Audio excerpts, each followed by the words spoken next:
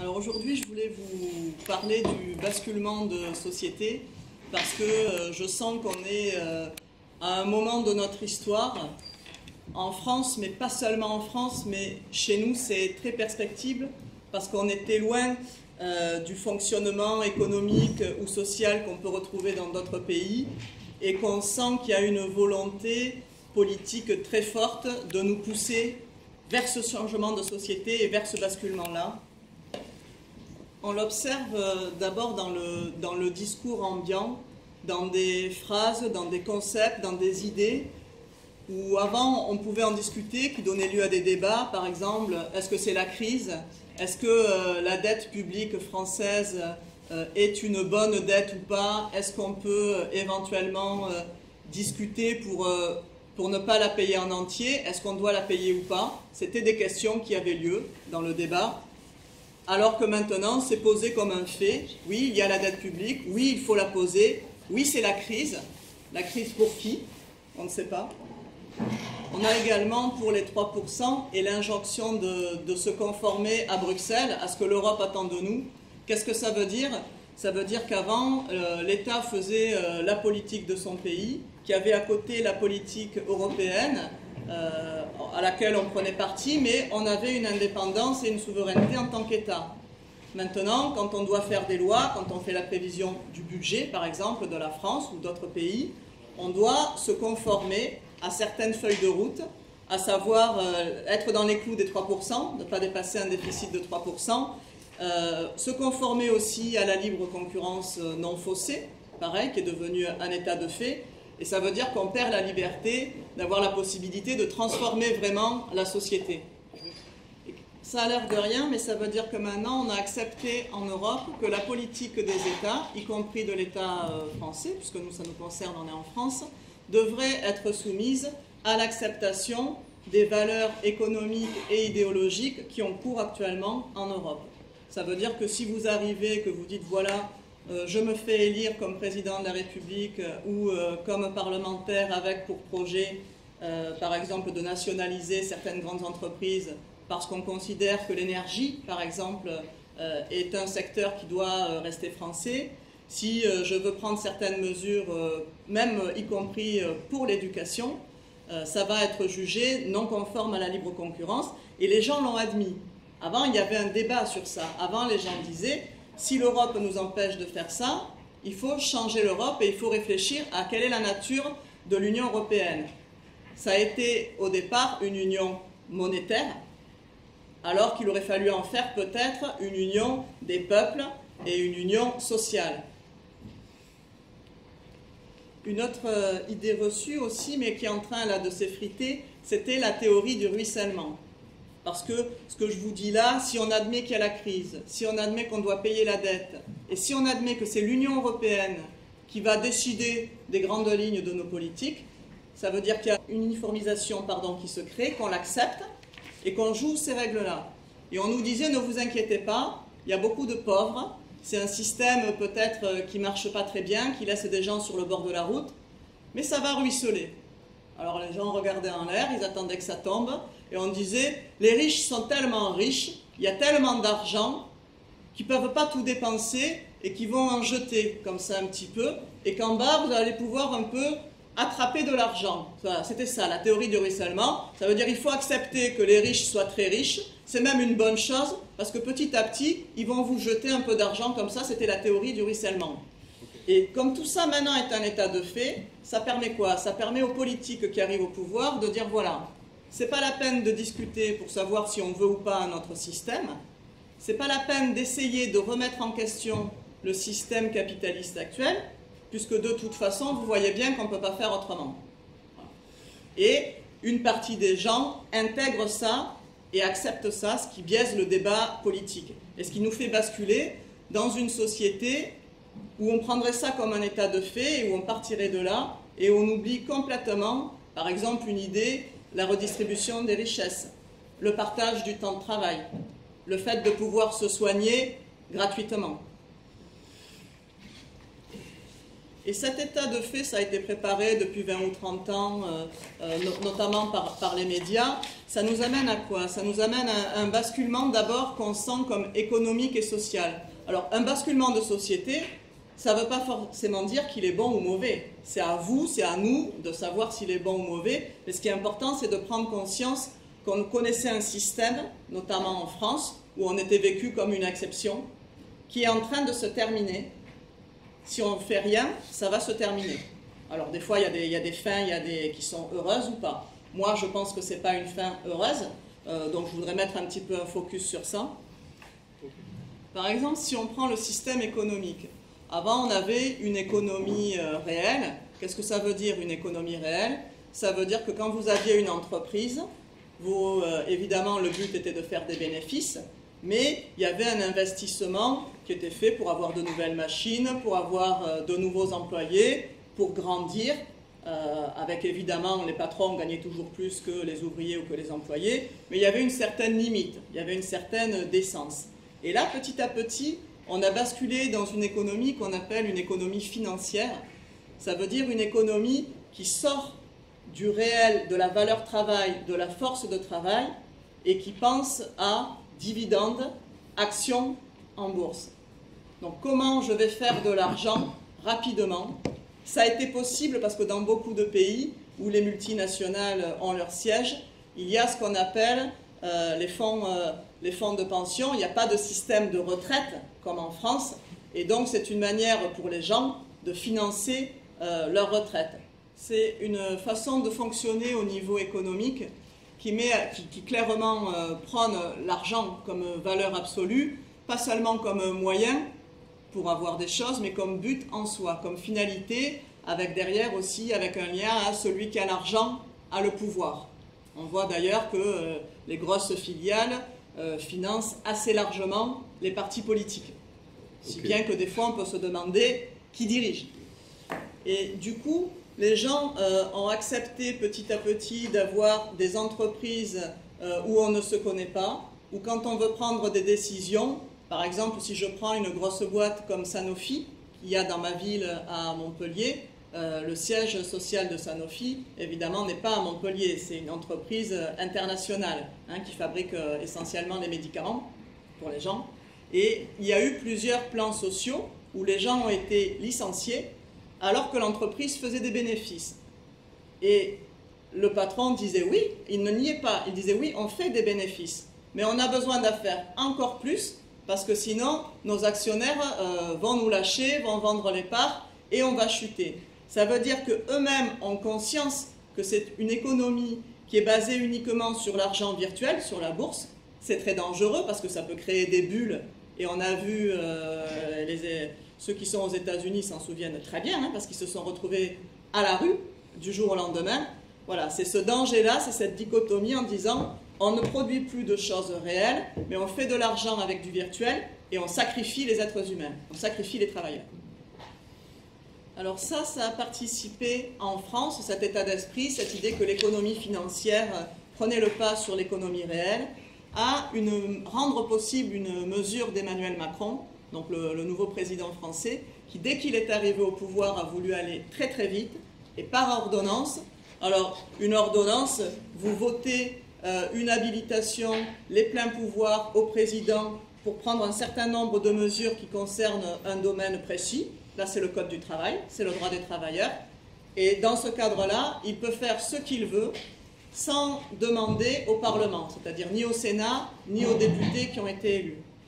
Alors, c'est très violent parce que les gens n'ont pas vraiment compris ce qui se passait. On leur a dit, vous inquiétez pas, ça ne concerne pas les grosses boîtes. Mais en France, 95% des entreprises, ce sont des PME ou des TPE, c'est-à-dire des moyennes entreprises ou des très petites entreprises. Ça veut dire que la casse et l'explosion du Code du travail et des droits des travailleurs concernent à partir de maintenant en France 95% des travailleurs. Ça aussi, c'est un basculement de société parce qu'en France, on avait un Code du travail qui protégeait pas mal les travailleurs. Ça faisait longtemps qu'on nous disait ces vieux jeux, il faut arrêter, ce n'est pas moderne. Ça aussi, c'est un vocabulaire, euh, il y a un vocabulaire nouveau qui est sorti. Il faut être moderne. Et les droits des travailleurs, ça empêche la liberté des patrons et même des travailleurs. Et on disait aux gens depuis longtemps, et là ça a été mis en pratique, il faut être flexible. Qu'est-ce que ça veut dire flexible? Ça veut dire que si votre entreprise veut que vous travaillez dans la journée de 8h à 10h, vous le faites. De 10h à 13h, on n'a plus besoin de vous. Vous rentrez chez vous. Par contre, de 22h à minuit, il y a un pic d'activité, on vous veut. Vous revenez. Donc vous n'avez plus le temps d'organiser votre vie à côté. Vous avez des heures coupées qui font que souvent ben, vous avez un mauvais salaire et vous n'avez pas les heures sup parce qu'on vous dit c'est un volume d'heures global que vous devez faire dans le mois ou mieux dans l'année, ça a été annualisé, et vous devez vous y plier. Et ça, ça va changer la vie des gens parce qu'avant, euh, on avait quand même une certaine stabilité. On avait aussi quelque chose, alors je ne sais pas si certains d'entre vous le connaîtront un jour, qui s'appelait le CDI. Euh, ça s'appelait un contrat à durée indéterminée. Voilà. Alors déjà, ma génération, en moyenne, on l'a connu euh, vers 30-33 ans. Hein.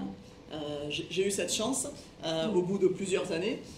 et qu'est-ce que ça voulait dire le CDI Ça voulait dire que quand vous aviez un emploi à durée indéterminée, on ne pouvait pas vous licencier du jour au lendemain. Et donc, vous pouvez planifier votre vie. Vous pouvez choisir un appartement, vous pouvez euh, choisir d'avoir des enfants, d'avoir une vie en disant ce côté-là de ma vie, cette stabilité, mon travail, je l'ai, je le garde, euh, tant que je ne décide pas d'en changer moi. Donc c'est une liberté, c'est un apaisement et c'est une façon de se projeter dans la vie euh, que certains d'entre nous ont eu la chance de connaître. Mais ça aussi, ça fait longtemps qu'on voulait le casser parce que ça freinait la liberté d'entreprendre des personnes. On est en train de nous dire le travail n'est plus une valeur forte qui doit libérer l'être humain. Le travail est une nécessité, mais il n'y en aura pas pour tout le monde. Il va falloir le partager.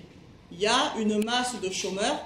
Alors, je ne sais pas s'il y en a euh, euh, ici qui ont lu euh, Karl Marx. ça s'appelle l'armée de réserve chez Karl Marx. L'armée de réserve, ça veut dire que déjà il avait senti que le capitalisme allait un peu dévier. On avait besoin d'une masse de gens assez nombreuse, cultivée, qui a fait des études et qui ne travaillent pas. Pourquoi on en avait besoin?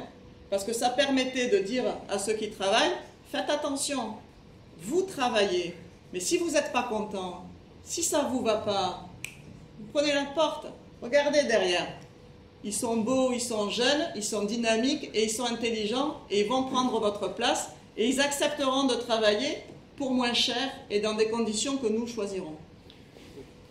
Alors maintenant, qu'est-ce que ça veut dire? Ça veut dire qu'un être humain, quelqu'un qui travaille, sait qu'il ne gardera pas le même travail toute sa vie et que ça ne dépendra pas de lui, de son choix, sait et intègre qu'il va devoir se soumettre à la volonté du patron.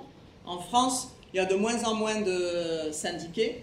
On nous a vendu les ordonnances en disant ça va être super, euh, et comme les syndicats sont forts, ce qui n'est pas le cas, vous verrez, ça va très bien se gérer, ça va être comme en Allemagne, euh, où en Allemagne, il y a les conventions collectives, en fait, euh, par branche, en fait, ça veut dire qu'il y a des accords de branche par les syndicats et qui s'appliquent. En France, il n'y avait pas ça. En France, il y avait ce qu'on appelait la hiérarchie des normes. Qu'est-ce que c'est la hiérarchie des normes? Ça veut dire que vous avez la Constitution, qui est euh, le haut de la pyramide. Rien ne peut être fait si ce n'est pas euh, conforme à la Constitution. Vous avez la loi, qui s'applique à tous et qui protège tout le monde. Donc c'était le Code du travail. Et après, vous aviez les conventions collectives, qui étaient négociées branche par branche. Maintenant, on n'aura plus ça. Maintenant, vous avez des négociations moi, je suis restée euh, déléguée syndicale, donc j'ai gardé cette euh, casquette-là et je fais encore les négociations euh, dans mon ex-entreprise, parce que j'y travaille plus. et maintenant, vous vous asseyez, on vous dit voilà, il va falloir renégocier tout ça. On vous dit que dans d'autres entreprises, déjà, voilà ce qu'ils ont obtenu. et on vous fait comprendre qu'il va falloir revoir vos prétentions.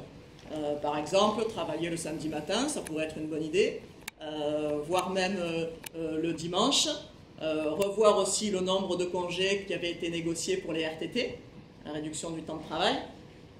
Et si vous n'êtes pas d'accord, et s'il y a un accord de branche, avant l'entreprise ne pouvait rien décider qui soit euh, moins euh, satisfaisant, on appelle ça le moins disant social, pour les salariés. Ça devait être mieux, ça ne pouvait être que mieux que la loi. Maintenant, ça pourrait être moins bien et chaque entreprise pourra choisir sa manière de fonctionner. ça veut dire en clair qu'il y aura un code de travail par entreprise. Chaque entreprise va décider de son code du travail. Et on sait très bien que quand on est employé, euh, qu'on a un loyer à payer, des gamins à faire bouffer, euh, bon, et, des salaires en général qui sont bas, on n'est pas en position de force euh, devant son patron si on n'est pas protégé par la loi, par les syndicats, pour se mettre en grève ou pour avoir certaines revendications, surtout si la nature du contrat à durée indéterminée est remise en question et n'existe plus. Parce que qu'est-ce que ça va être? Ça va être des CDI, donc des contrats de travail, pour accomplir une tâche. Par exemple, je dois euh, organiser euh, un séminaire qui aura lieu dans six mois. Ok, mon contrat est valable pour ces six mois-là. Et après, vous êtes convoqué, on fait un point. Et si on n'a plus besoin de vous, on vous dit oui, c'est bien, merci, euh, mais vous n'avez pas atteint tous vos objectifs, donc au revoir. Voilà, c'est fini pour vous la semaine prochaine. Un autre basculement aussi social en France, euh, alors ça touche, euh, c'est assez important parce que ça touche à des choses qui vont empêcher les gens ou qui vont ralentir euh, les moyens qu'auront les gens de se révolter après. C'est-à-dire que là, les gens sont assommés. On a des mesures comme ça qui nous viennent de Macron. Macron, il est là depuis le mois de juin, hein. c'est rien. Il est là depuis le mois de juin. Il a cassé les droits des travailleurs et le code du travail. Et il s'est occupé aussi d'un truc intéressant, l'assurance chômage et l'assurance maladie. Alors ça déjà, quand on dit aux gens, il n'y a plus d'argent, c'est la crise, il faut réduire les dépenses publiques, on aimerait bien continuer à être généreux, mais ça coûte cher, c'est compliqué, on ne peut plus se le permettre. Euh, il faut déjà rappeler que euh, l'assurance maladie a été créée quand? C'est le Conseil national de la résistance. C'est après la Deuxième Guerre mondiale, en 1945, et c'est dans une France qui était à genoux, où il n'y avait plus d'argent, où il n'y avait plus d'infrastructures, et où les gens ont trouvé, le gouvernement a trouvé, c'était un ministre de la Santé qui s'appelait euh, Ambroise Croizat, euh, qui avait été euh, manœuvre dans une entreprise, il avait commencé comme ça, à 13 ans. Donc c'était un mec qui savait ce que ça voulait dire se lever le matin pour travailler, les accidents du travail, le besoin de se soigner. Voilà, c'est quelqu'un qui avait conscience de ça. C'était après la guerre, on n'avait plus d'argent et on a mis en place ce système de solidarité assurantielle. Qu'est-ce que ça veut dire? Ça veut dire que chacun cotise sur son salaire un peu d'argent qui servira quand il sera malade à pouvoir être soigné et que les soins soient pris en compte, même si ce sont des soins très chers qui ne pourraient jamais se payer avec un salaire. Dans le même temps, qu'est-ce qu'il a fait? Il a supprimé l'impôt de solidarité sur la fortune, qui est un, impôt que payaient en France euh, les plus fortunés. Ça, ça a été supprimé. Pourquoi je vous dis ça? Parce que c'est un choix. Quand on, soi-disant, c'est la crise et qu'il faut faire des efforts, il faut regarder à qui on demande les efforts. Là, on dit, OK, on va enlever tous les, impôts qui étaient pour les très riches. Euh, alors l'argument, c'est parce qu'il faut qu'ils restent chez nous, sinon ils vont partir parce qu'ils n'auront plus d'argent. On a eu des pays hein, comme aux États-Unis où il est arrivé que les grandes fortunes soient taxées à 90% euh, et, les gens, et les gens restaient. Et on peut mettre en place aussi un système euh, d'impôt sur les revenus universel hein, que certains euh, pays appliquent déjà et qui permet d'être imposé où qu'on aille. Ce qui fait que si les riches veulent fuir avec leur fortune, ils sont quand même imposés là-bas. Ça, c'est la façade, c'est le prétexte. Et derrière, ils sont en train de tuer tout simplement euh, l'assurance chômage. Parce que quand on dit aux gens, vous n'avez pas beaucoup d'argent, on ne peut pas augmenter vos salaires parce que c'est la crise et puis il y a la concurrence, il y a des gens qui sont moins payés que vous ailleurs. Mais par contre, on peut vous donner, allez, 100, 150 euros de plus par mois sur vos salaires. Et regardez, c'est facile, on va supprimer les cotisations que chaque salarié paye par mois pour l'assurance chômage et pour l'assurance maladie. Alors qu'est-ce que ça veut dire? En contrepartie, on va réformer euh, l'assurance maladie et l'assurance chômage. Ça veut dire qu'ils ont décidé de nous faire basculer vers le système anglo-saxon, où en fait c'est plus une assurance pour l'assurance maladie et le chômage, c'est euh, l'État, via les impôts sur le revenu, euh, qui va faire fonctionner le système. Alors on pourrait se dire, ouais, ça peut être pas mal, Euh, sauf qu'en France, il y a une fiscalité absolument injuste. Il y a très peu de tranches et on se rend compte que l'effort, en fait, euh, euh, pour la contribution à l'État pèse toujours sur les mêmes, sur la classe moyenne. La classe moyenne qui est en train de se réduire et de s'appauvrir et qui ne pourra plus le supporter. Et dans les pays où ce système-là est mis en place, qu'est-ce qu'on observe? On observe ce qu'on commence à observer chez nous, des déremboursements. C'est-à-dire qu'il y a des médicaments où on va vous dire ça, vous n'en avez pas vraiment besoin, si vous ne le prenez pas, vous n'allez pas mourir, on ne va pas le rembourser. Voilà, c'est vous qui, le payerez euh, maintenant. On va vous dire, on développe beaucoup aussi chez nous ce qu'on appelle la chirurgie ambulatoire. Qu'est-ce que ça veut dire? Ça veut dire que vous allez à l'hôpital ou dans une clinique vous faire opérer. Ce n'est pas un truc super grave. Avant, vous gardez 3-4 jours pour être sûr que vous alliez bien. Maintenant, dans la journée, euh, alors c'est pour la maternité beaucoup chez nous et pour tout ce qui est euh, orthopédique. On vous dit, bon, maintenant c'est bon, vous avez été opéré, vous rentrez, et si ça ne va pas, vous nous appelez. Mais on enlève des lits. On enlève la possibilité aux gens, après, s'il y a un problème, petit à petit, on réduit et on ferme des services. Ça veut dire qu'on est en train de plus pouvoir revenir en arrière et d'habituer les gens à aller à l'hôpital juste pour subir un acte, avec pas le suivi derrière et pas le temps euh, de se reposer, puis s'il y a un problème, eh ben, tant pis pour vous. On a eu, nous, récemment, le cas dans l'Hérault de quelqu'un euh, bah, voilà, qui est mort comme ça parce qu'on avait fait partir trop vite de l'hôpital. Et euh, quand la dame a voulu revenir, ben, c'était une hémorragie, c'était trop tard. Alors, derrière ça, il y a aussi le fait que les gens en France, là, maintenant, ici et maintenant en 2017, 20% des gens ne se soignent pas. Pas parce qu'ils ont décidé de ne pas se soigner, hein, pas parce qu'ils ont des croyances spirituelles particulières, parce qu'ils n'ont pas l'accès aux soins. Parce que payer le médecin, parce que payer des soins qui ne sont pas remboursés ou faire l'avance, les gens ne peuvent plus le faire. 20%, c'est énorme, c'est énorme. Et avec ce système-là, on aura une assurance maladie qui vous accompagnera en gros pour les maladies très graves, c'est-à-dire on vous accompagnera jusqu'à la mort, c'est gentil, on aurait préféré qu'on nous aide à vivre plus longtemps en bonne santé, c'est comme ça. Et certaines maladies chroniques, c'est en cours de discussion, où ils disent oui, il y a peut-être quand même quelques maladies chroniques, alors c'est peut-être celles qu'ils ont eux en haut, ceux qui décident, ça, ce serait euh, remboursé. Pour tout le reste, si vous avez de l'argent, si vous pouvez payer des mutuelles, très bien, et puis sinon, tant pis pour vous. Il faudra souffrir en serrant les dents et en souriant. Ça, ça c'est en train de se passer ici et maintenant. Donc là, on a vu euh, le basculement déjà idéologique, c'est-à-dire celui qui nous prépare à avaler tout le reste. C'est-à-dire d'accepter comme des faits, comme des données, comme quelque chose qui est inéluctable et qu'on ne peut pas changer, le fait que c'est la crise, qu'il faut respecter les 3%. On ne nous dit pas on va s'unir, on va essayer euh, de faire voir euh, à ceux qui dirigent l'Europe les choses autrement. On va essayer de faire une Europe sociale. On nous dit c'est comme ça, il faut l'accepter. Du coup, ça engendre un basculement au niveau social et sociétal. Ça veut dire qu'on accepte maintenant d'être dans un système où le travail ne libère plus, où l'être humain doit se plier euh, au travail et redevient un espèce d'outil de production, mais sans âme, sans cœur, sans projet de vie et sans pouvoir se projeter dans la société, et qui se soignera euh, s'il a de la chance, euh, mais pas tout le temps. Ça, ça veut dire qu'on est en train de l'accepter. Et aussi, on a vu un basculement de gouvernance avec Macron. Alors moi, c'est euh, mon premier mandat hein, en tant que, député. Et j'ai été euh, assez choqué du, symbole qu'a fait Emmanuel Macron quand il a été élu. Il a euh, fait un congrès extraordinaire à Versailles. Alors Versailles, en plus, symboliquement, chez nous, hein, c'est la monarchie, c'est pas la République. donc ça veut dire quelque chose. Et il a fait son discours avant le Premier ministre.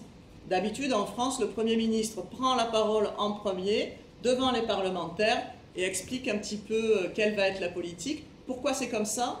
Parce que c'est le gouvernement, normalement, qui a, alors évidemment le président impulse et choisit le gouvernement, mais qui a une utilité dans sa fonction et qui vient rendre des comptes devant le Parlement. Déjà là, symboliquement, on a un gars qui vient d'être élu président et qui vous dit bonjour, à partir de maintenant, voilà mon premier discours, c'est Versailles, un lieu symbolique de la, monarchie. Donc déjà la République, vous pouvez commencer à l'oublier. Et c'est moi qui décide. C'est moi qui parle en premier et c'est moi qui décide. Macron se sert aussi de, de l'image négative des politiques en France, mais je pense que c'est un petit peu partout pareil. Euh, quand on fait de la politique, on est euh, un sale type ou une sale nana qui mettons un peu d'argent de côté, qui trichons, euh, qui mentons, etc. Il y a une, mauvaise image, une mauvaise image qui n'est pas due au hasard, hein. une mauvaise image parce qu'effectivement, il y a eu des politiques qui ont triché, qui ont menti, qui ont pris l'argent, qui n'était pas à eux, l'argent public, etc. Voilà. Et au lieu de dire on va réprimer ces comportements, ils s'en servent pour dire ok, cette démocratie en fait, elle marche pas très bien, on n'a peut-être pas besoin d'autant de monde élu par le peuple. Donc on pourrait réduire le nombre de députés. On pourrait en enlever, actuellement il y en a 577, ils voudraient en enlever au moins 100 ou 150. Mais derrière, ça veut dire qu'il y a des territoires qui seront moins représentés, qui vont être agrandis, et ça change le rapport au peuple, et ça lui donne à lui encore plus de pouvoir. Il s'en est servi aussi pour enlever la réserve parlementaire. La réserve parlementaire, c'était de l'argent qui était donné à chaque député, euh, à la base, qu'ils pouvaient utiliser comme ils voulaient, donc c'était une horreur, ça leur permettait d'acheter les gens, et après, qui a été régulé et qui était souvent donné beaucoup à des associations, et depuis le 2013, sur Internet, vous et moi, on pouvait regarder ce que son député avait fait de l'argent et à qui il l'avait donné.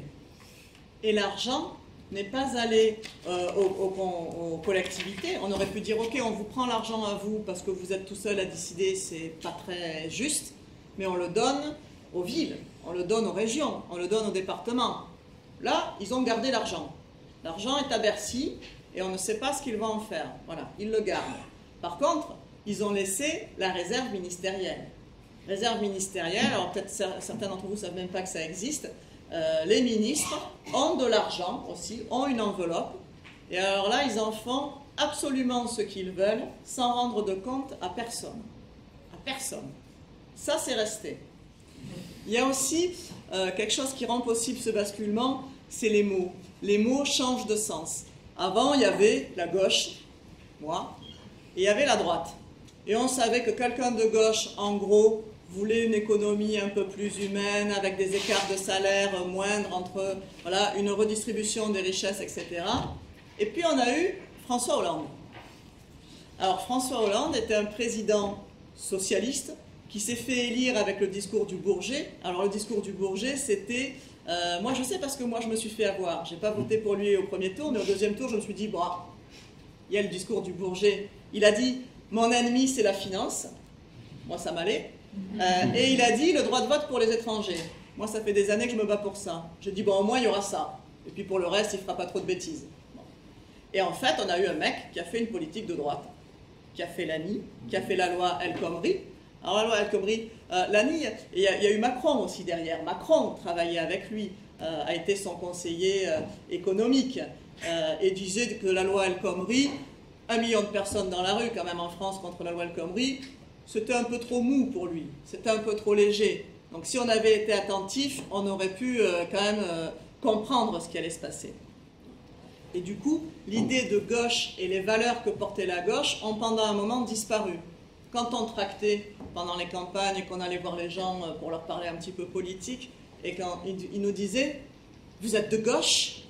Et de gauche, ça voulait dire « vous nous avez trahis Et alors on devait dire oui, mais pas socialiste. Euh, et là, les gens se calmaient. Mais sinon, vous vous faisiez vraiment agresser, quoi. Parce que, et, je, le comprends, parce que les gens avaient la rage et la colère, parce qu'ils s'étaient fait trahir. Il y a quand même eu aussi, euh, pendant ce quinquennat, l'augmentation euh, de, l'âge pour partir à la retraite.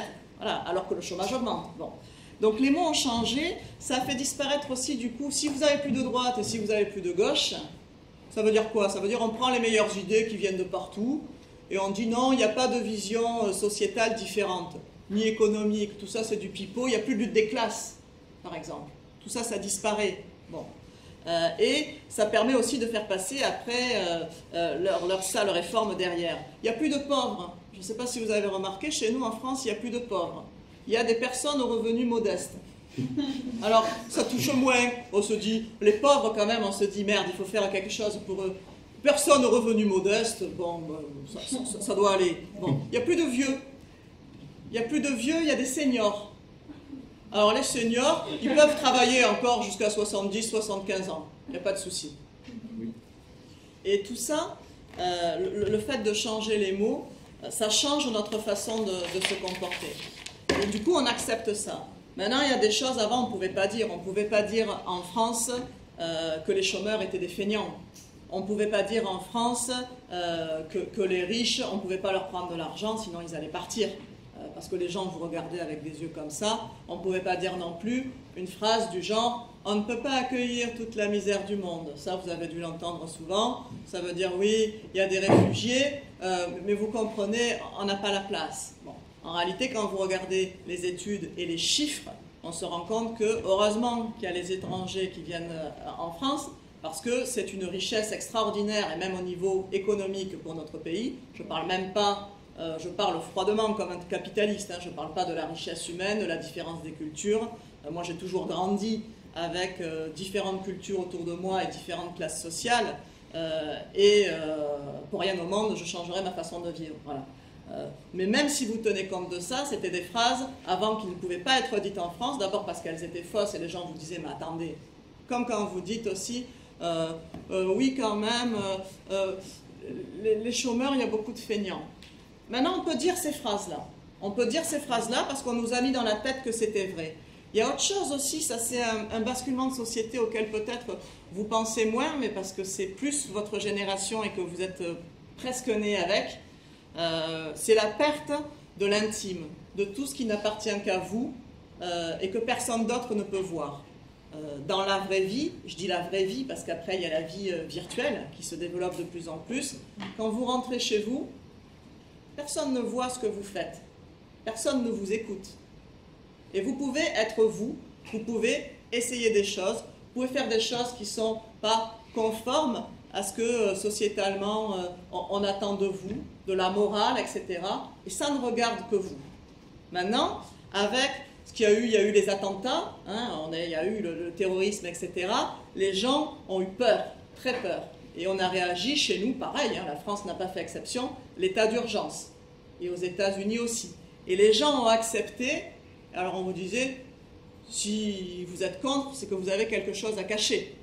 Si vous n'avez rien à cacher, vous devez accepter d'être écouté chez vous, que le téléphone soit écouté et qu'on regarde ce que vous faites sur Internet. Maintenant, on est potentiellement surveillé, observé dans tous les domaines de notre vie, à peu près tout le temps. Et au lieu de se révolter, on change notre manière de faire pour que les choses ne se voient pas. Par exemple, on a fait des études, quand vous partagez quelque chose sur Facebook, hein, ou quand vous mettez un post, vous le mettez en fonction de ce que vont penser vos amis.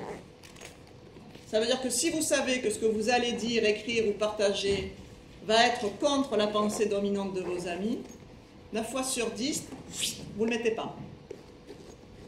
Ça, c'est des, données euh, aussi à en prendre en compte. Pour conclure, je dirais qu'on est, à, est à un moment où, euh, au niveau de la société, on sent qu'il y a ce basculement, au niveau des droits sociaux et au niveau économique aussi, du modèle économique qu'on va choisir. Est-ce qu'on va garder ce système capitaliste, mais qui est en train lui-même de s'écraser, qui est en train de pourrir la planète et qui est en train de faire de nous euh, plus des êtres humains euh, qui nous accomplissons et qui avons un destin et un projet de vie, mais juste des outils, des outils qui servent à travailler, des gens qu'on met en concurrence et en compétition les uns avec les autres. Voilà, à nous de voir si on va accepter ça ou pas, ou est-ce qu'on va se tourner vers une économie euh, réelle à nouveau. Je pense au circuit court, je pense notamment à l'alimentation biologique, je pense à une manière de faire qui respecte et les êtres humains, et l'environnement, et les animaux, parce qu'on a encore le choix, c'est pas encore trop tard. Voilà, on est à ce moment-là. On a un moment où nos rapports humains sont changés par les rapports sociaux, et à la fois qui sont aussi un outil, euh, euh, je veux dire, c'est quand même un outil génial et dont il faut servir, mais il faut avoir conscience que ça modifie notre manière d'être, notre manière, et surtout chez les jeunes, de se rencontrer, de se quitter, d'avoir une relation, qu'elle soit amicale ou amoureuse ou pas. Ça aussi, on est en train de voir que ça, ça change la manière de, de, se comporter. Voilà. Donc il faut, il faut réfléchir. On est à la fois à un moment de, l'histoire absolument passionnant, parce qu'on est à un moment donné où on connaît un système qui est en train de s'effondrer. Et où un autre naît, et il va naître, alors soit on va en être les spectateurs de loin, je trouve pas ça euh, très bien, euh, soit on va en être acteur et on va voir, on verra, hein, peut-être dans 5-10 ans on va se revoir et on verra dans cette salle euh, qu'est-ce que chacun d'entre vous a choisi de faire parce que c'est Spinoza hein, qui disait ça, nous ne sommes que ce que nous faisons, ce sont nos actes qui nous font exister. Quand les gens vous parlent, quand les gens blablatent, moi j'écoute, mais je regarde ce qu'ils font. Pour connaître quelqu'un, il faut savoir ce qu'il fait. Et on verra ici dans cette salle ce que moi j'aurais fait, ce que vous, vous aurez fait, parce que la vie est ainsi faite, je suis sûr qu'il y a au moins certains d'entre vous que je recroiserai. Quelle place vous avez prise, quelle place on a prise dans ce basculement de société, de quel côté euh, on s'est mis, parce qu'on va arriver à un moment où on va être obligé de prendre parti et où on ne pourra plus euh, se contenter de regarder de loin parce que ça va toucher euh, chacun d'entre nous. Et là, voilà, l'histoire est en train de s'écrire. Voilà. Je pense qu'on se reverra. The very end was to say that you have to take side, Yeah, and in faut 10 prendre years, parti. uh, take side. You need to take side, and in 10 years we'll, uh, we'll see, see each other and see which parts you have taken in this, in this uh, major change.